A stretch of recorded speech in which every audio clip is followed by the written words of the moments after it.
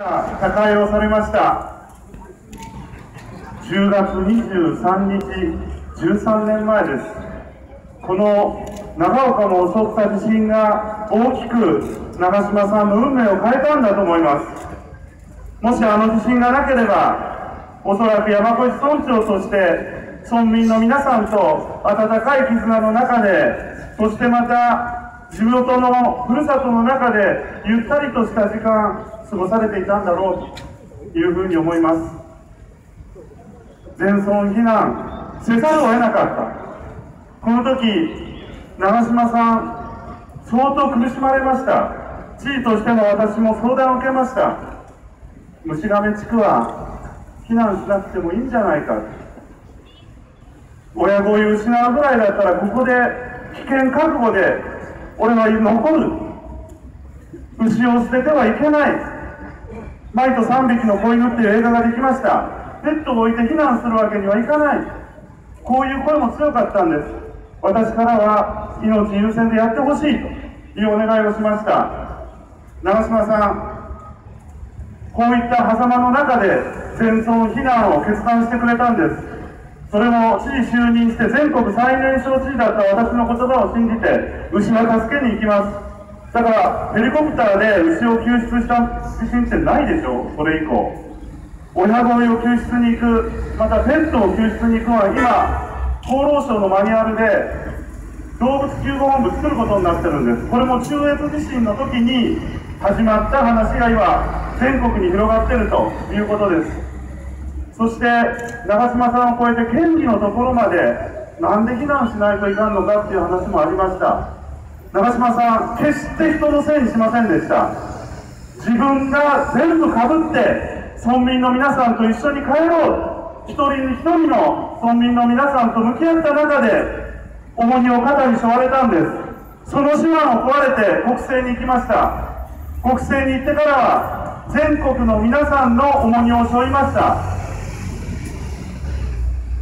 東日本大震災ここの被災者の皆さん長嶋さんに来てくれてよかったと、なかなか復興が進まないっていう中で、長嶋さんが来て来ていただいたおかげで、我々の苦しみが伝わった、ありがとう、知事をしてた私のところまで感謝が来ました。熊本地震でも一緒に長嶋さんと対応させていただきました。長嶋さんが来てくれてありがとう。本当に感謝の心が、気持ちが私のところに届いてきたんです。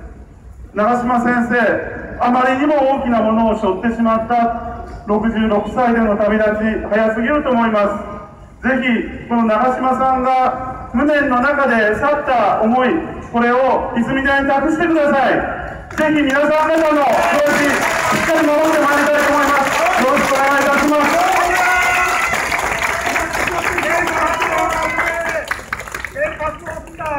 今、東京を中心とした大企業ではあのバブル期を超える大きな利益と内部留保つまり企業が儲かっているという状況になっています。この新潟5区皆さんの暮らし向きいかがでしょうか？バブル期超えたっていう実感ありますか？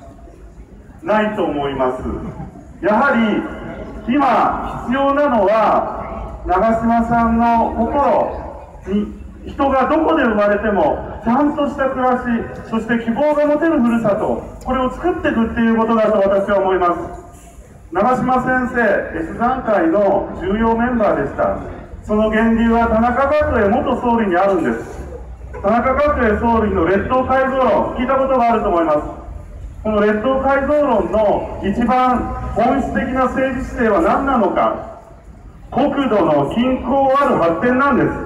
弱肉強食の競争社会じゃないんです。国土の均衡ある発展ということなんです。私もさっきから言われてるように4区から来たじゃないかと言われてるんですが旧新潟3区の出身です。田中角栄元総理の選挙区です。皆さんパンフレットをお持ちの方おられると思いますがそこの中に私田中先生から色紙いただいてます。弘彦君へ不動詞越山田中角栄。新潟3区、皆さん方と同じ政治ムードの中で、豪雪と戦い、そしてまた都市との格差、これを実感をして生活をしてまいりました。我が家は実は実家農家です。昼に刺されながら田んぼに入りました。そしてはざかけも経験してます。子供だから軽いから上行けって言ってはざかけをする。背中チクチクするんですよ結構。で春になるとですね、えー、この杉起こしっていうのをやってます。雪で倒れていく杉を起こす。我が家のゴールデンウィークは山に行った杉おこしということでやってまいりました。皆さん方の苦しみぜひ代弁をさせていただきたい、えー、この地方とそれから都会の格差を是正していくために必要な政策えっと思う人もいるかもしれませんがアベノミクス有効なんです。本人7割道半ばっていうふうに言ってますがアベノミクスの本質は金融政策だけじゃないんです。機動的な財政出動っていうのも入ってるんです。要は都市の富と地方の富を再配分していく。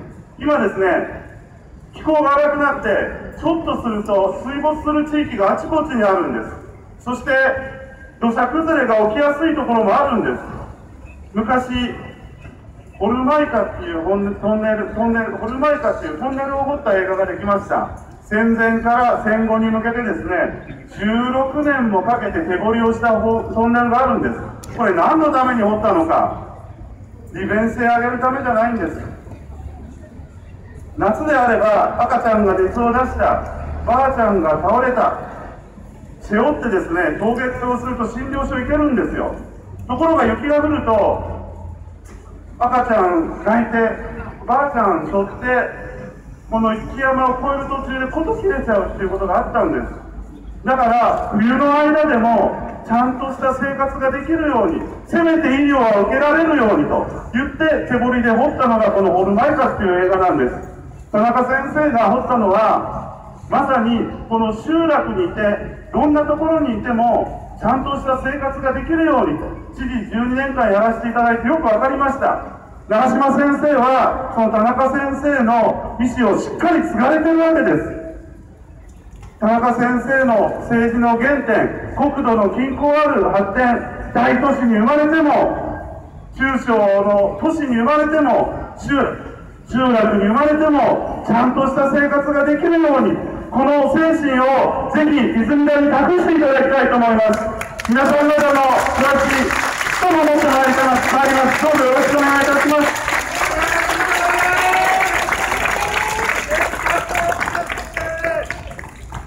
原発の話。